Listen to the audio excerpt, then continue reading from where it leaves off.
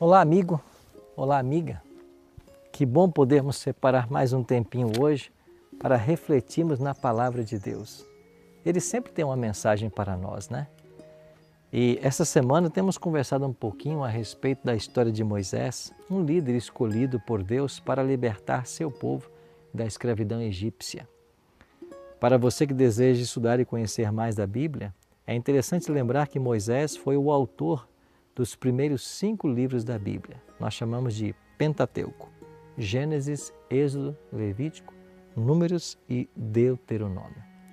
Deus atuou de forma poderosa através da vida desse homem, apesar das suas limitações.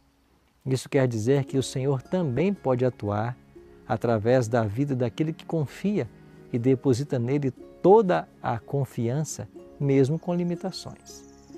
Nós vamos entender isso melhor na vida de Moisés.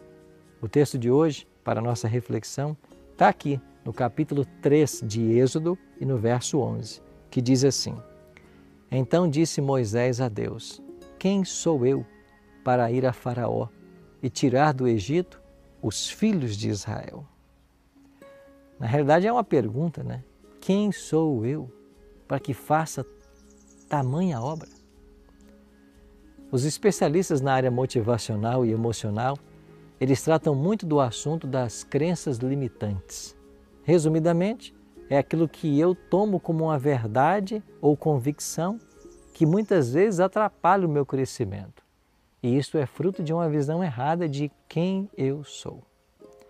A pergunta de hoje é: qual é a visão que você tem sobre você mesmo? Você se vê como uma pessoa capaz? Você reconhece os seus valores? Se eu te pedir para você citar três características positivas suas, isso seria respondido rapidamente ou você titubearia?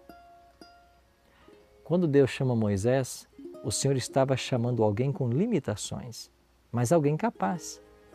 Grandes feitos divinos apresentados na Bíblia passam por vidas de pessoas que reconheceram suas falhas mas que confiaram totalmente no Senhor. Isso é interessante, parece um paradoxo, né? Ao longo dessa semana, você vai ver que para cada objeção que Moisés apresentou, havia uma promessa da parte de Deus. Quando o patriarca diz: Quem sou eu para que vá, para que liberte Israel? Deus responde: Eu serei contigo. Deus sabe quem nós somos, Ele sabe o nosso valor e Ele promete estar conosco todos os dias da nossa vida.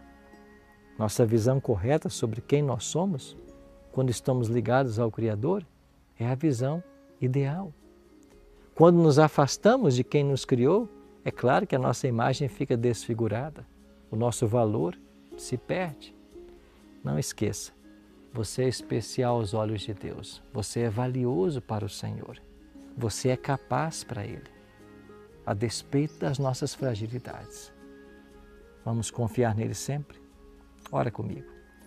Pai Santo, muito obrigado porque o Senhor nos ama e porque vê em nós valores e qualidades e nos ajuda a despeito das nossas dificuldades. Caminha conosco ao longo desse dia e nos abençoe em cada atividade. Oramos em nome de Jesus. Amém.